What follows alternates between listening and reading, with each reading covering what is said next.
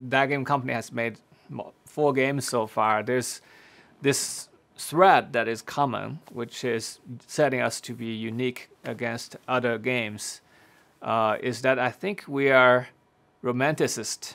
I was trying to communicate a feeling that I felt, but words and visuals don't really capture them, you know.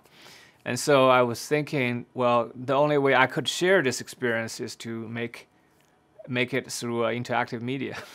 I still remember, you know, those you know, early day romanticist oil painters, they are, in order to capture this, the perfect sunset, their paint is not bright enough, right? And they would paint green around the red sunset to use the contrast to make the sun more red.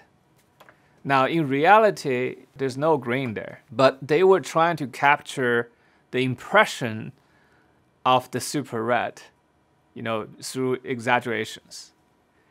And for me, I felt like most of the game we've made, we're trying to capture something so bright that is a part of the humanity. It's, it's a bright part of the humanity.